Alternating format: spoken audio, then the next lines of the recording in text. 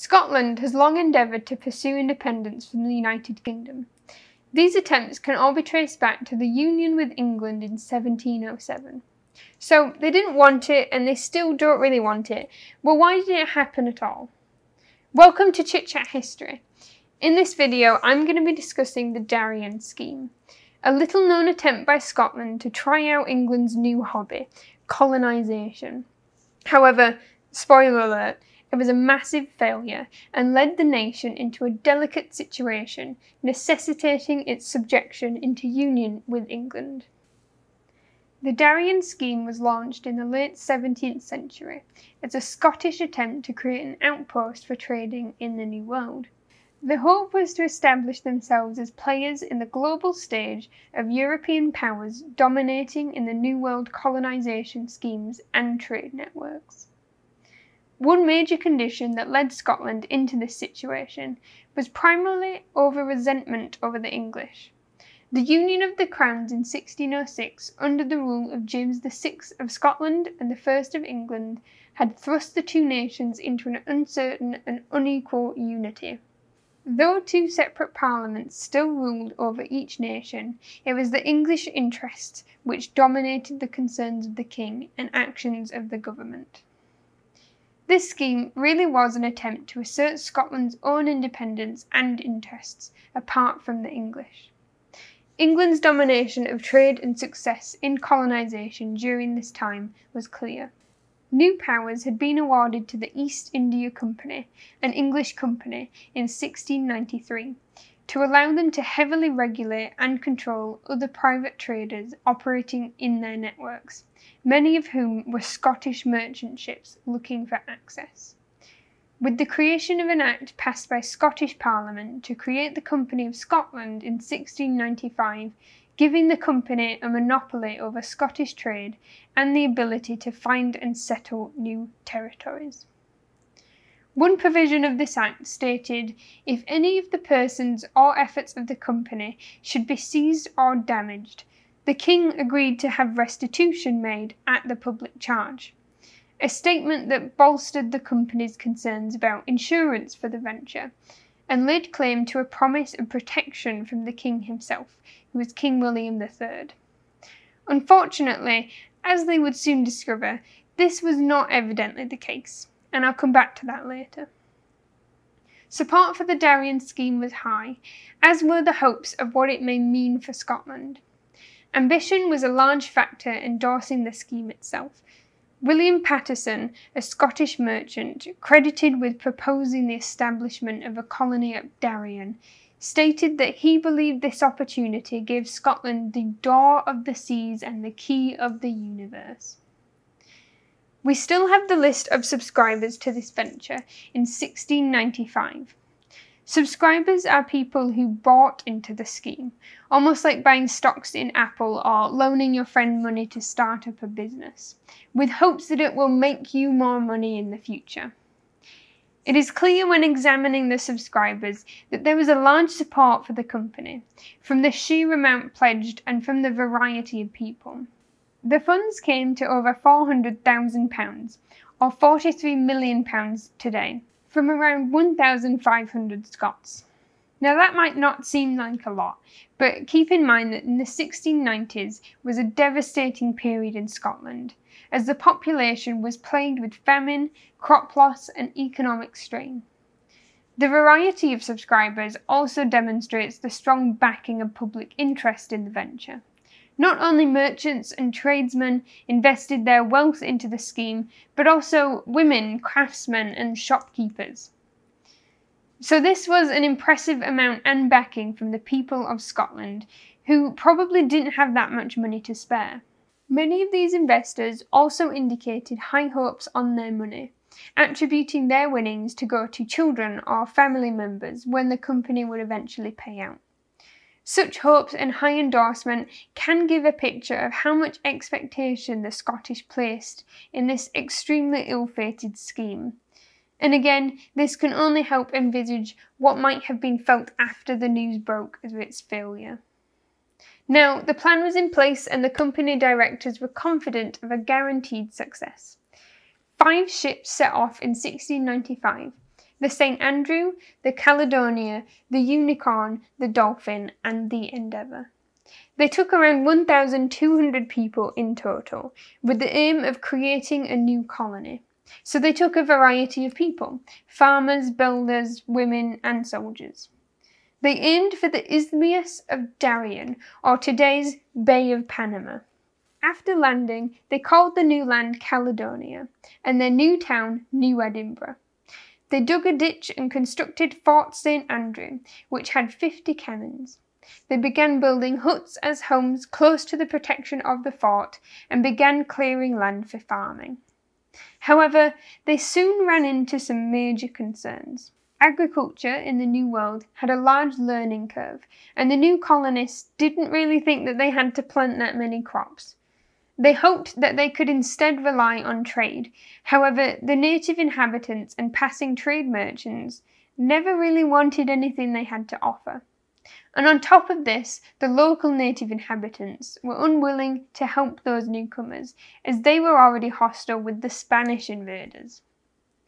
They also realized that their food supply was not well sealed, and much of the supplies that they had brought over to last them through the winter had rotted. The only stuff not rotten was the alcohol, for which they had plenty, and this only quickened the death of those already suffering with dysentery and starvation. Next was illness.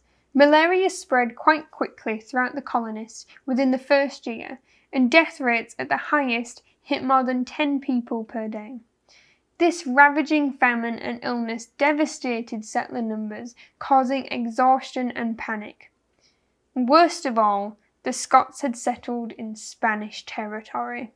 The Constitution of New Caledonia, created by the Company in 1698, had particular requirements for the establishment and organisation of the colony. It stated clearly that no settlement was to be created where Europeans had already settled.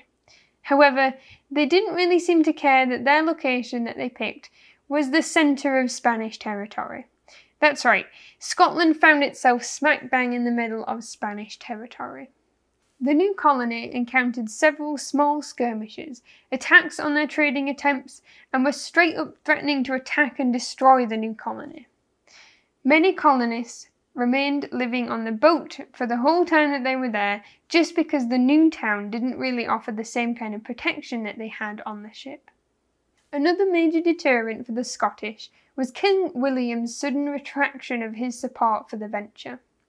In his intentions to keep the peace with Spain at the time, it would be problematic to show encouragement for the venture which threatened Spain's economic and military control over South America. Even as their monarch, William reprimanded the endeavour and criticised the Scots for taking on the foolish attempt. In January of 1699, King William of England and Scotland sent out notification to all English merchants, warning them not to support or provide assistance to the Darien colony or its settlers. He said that he had no knowledge or approval of Scottish design. This was a devastating realization for the Scottish Company. Many scholars believe it was this understanding of isolation without backing from the Crown in addition to the ongoing threatening Spanish attacks, which made the decisive influence over their decision to abandon the venture altogether.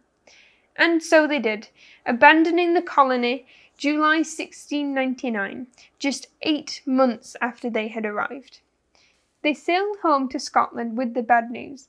Only one boat made it back to Scotland with just 300 people, out of the original 1,200 intended settlers. But this adventure didn't end there.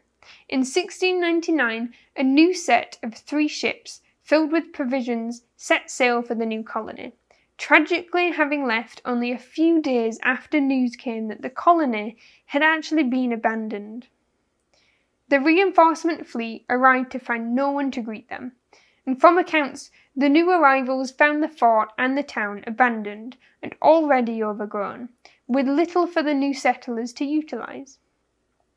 Thomas Drummond, captain of the second expedition, wrote of his concerns. He had not come to settle a colony but to reinforce a new one. They had come to provide provisions, not to start anew.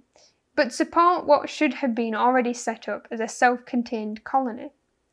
The second expedition would be doomed to the same fate as the first, but it was not the lack of provisions that eventually made them flee the site. The second colonists felt severe threats from the Spanish, who were pretty annoyed to see Scotland still attempting to make Darien happen. With the news of the second expedition, the Spanish dispatched their forces in an effort to take down the colony once and for all. The siege of 1700 on the fort at New Edinburgh was a grueling effort on the part of the Spanish to compel the Scots to give up their position.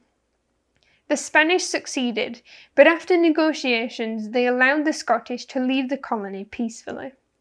It was this Spanish attack that eventually swept out all hopes of the colony's success. Feelings of devastation spread rapidly.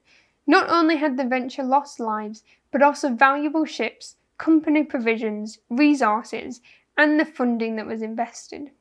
The loss was felt by all, described as a serious affront to Scotland's national honour and credibility.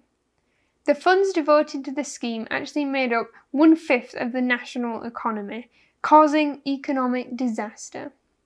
The General Assembly of Scotland requested the proclamation for a day of national fast, which was approved by the Privy Council, who appointed August 29th as the solemn day of mourning for the nation's misfortunes. Unfortunately, this scheme and its ramifications have passed into the cloudy memories of history. Addresses to the king requested him to speak out about what happened, since pretty much everyone blamed him.